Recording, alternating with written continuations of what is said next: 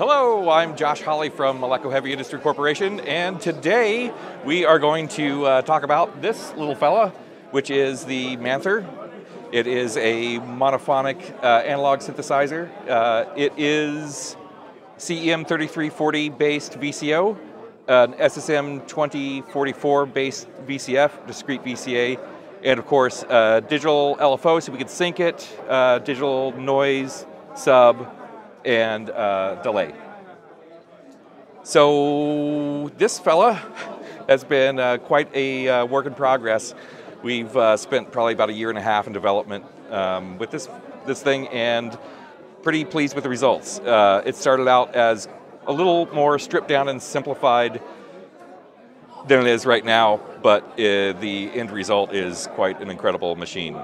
Um, so what we're going to do real quick is I'm just going to start uh, by clearing this, this pattern, shift clear, and we will go into record mode and I can either do a, let's turn all these things down, filter up, and you can do record just so I can just input notes by just playing it and you'll see them come up on the screen. Or if I don't want that, I could have traditional select a note, select a note, oops, select a note, select a note, et cetera, et cetera.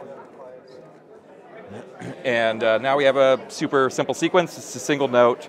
Uh, where it gets interesting is you can go into probability, and right now you'll see each step that's lit has a 100% pro probability. We're going to bring it down to 68. So all you have to do is just hit that. You'll notice that step one, it diminished a bit. So now this has a 68% chance of actually firing.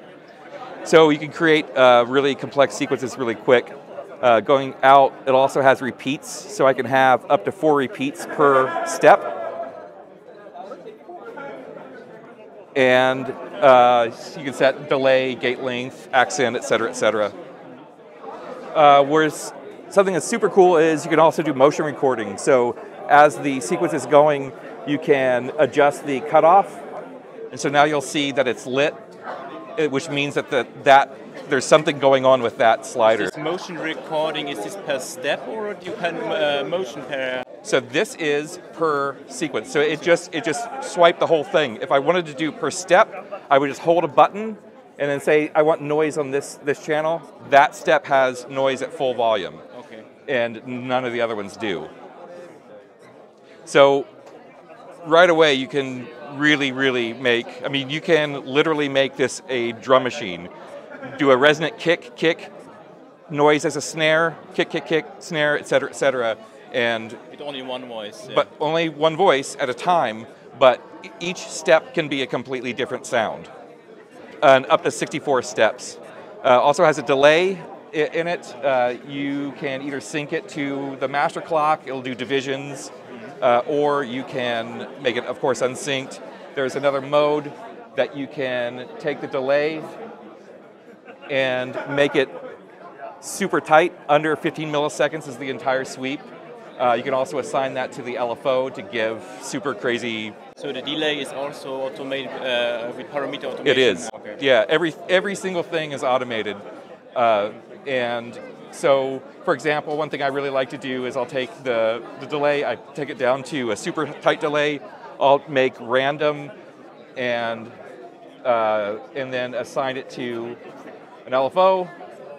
Bring up the LFO amount, and now the sound is sort of like a flange, but a different a different flange setting per step, uh, based off a random value. So you receive with the delay some resonator, something like that. Absolutely. And FM is possible, yeah. So the LFO will go into uh, an audible rate. Yes. So get out of this, shift clear, clears literally everything out. Now we can start. Uh, Micro steps, something where you can split uh, one step even brighter? Uh, as far as timing goes? Yeah, um, that you get can make one step in four steps. Correct. Yeah. So that would be a repeat function. So you would go to shift, repeat, And so I can repeat up to four steps per. So, so I could have step one active, and it will. I have the option to make one up to four repeats per step. So you can get incredibly complex rhythms really, really easily. Uh, combine that with probability, and that's where it really gets interesting. So basically, um, the, the core is analog, and uh, but uh, the, uh, the DSP is there for the display and correct. The sequencer and uh, the display, the delay, and the LFO. What kind of uh, connections we have here uh, for additional for external stuff or? So there's a lot of different CV options. So there's um, you can have mix out, you can have an external clock in if you don't want to use MIDI. I have CV in for the VCO. I have CV out uh, if that's something I want. Uh, VCA, I can I can control anything externally or this externally. And the backside, you have also uh, uh, what kind of audio input outputs, um, mono output. yes, so it's a it's a mono output. So there's a phone, a headphone, and just a mono out. MIDI? MIDI? Yes, MIDI in and out uh, is also available.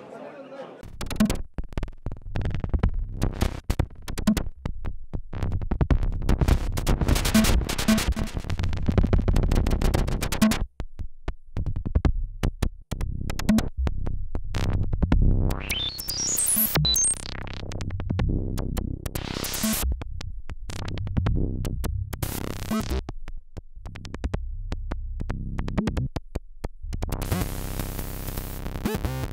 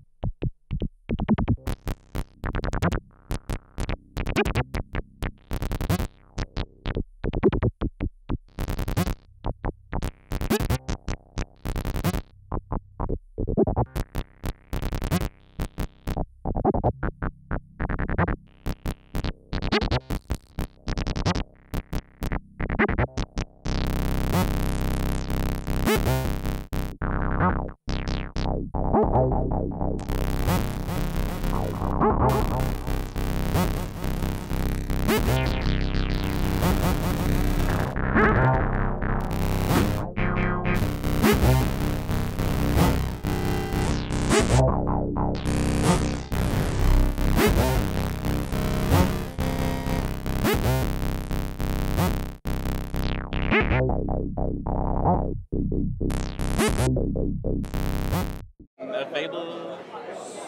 Yes, so uh, should be shipping the beginning of 2018. Price point? The price point is 649. And you have uh, for the uh, viewers an update for the two audio devices, the audio boxes. I'm sorry, say it again? The, you have an update for the users for, from the audio boxes, the wavetable and uh, so the uh, BFF will follow the Manther fairly soon. Uh, we're hoping about a month and a half after we see the Manther hit the streets, the BFF will sh uh, follow shortly. Uh, also, there are other boxes planned that we will uh, be a surprise for everybody. Okay, thank you. All right, thank you.